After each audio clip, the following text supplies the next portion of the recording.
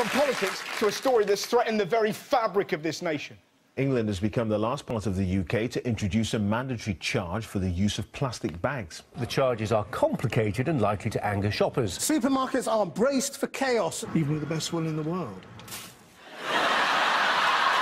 Plastic bags, chaos!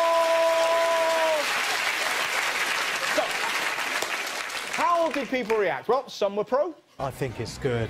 I've, I've already cut back myself. others didn't really know how plastic bags worked. This one can be like a thank you because we support the us, we give us thanks.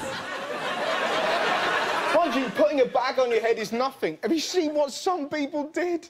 Shoppers in parts of the UK have been sharing a new way of avoiding the 5p charge for plastic bags by stealing trolleys instead. Only in this country. I've saved 5p by nicking a trolley. a trolley that cost a pound.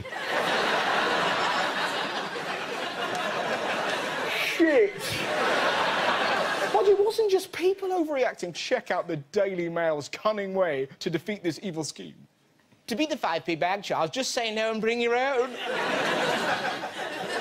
this man wins my award for best response to that article. Getting people to do this is literally the whole point of the charge, you lobotomized shitload. I mean...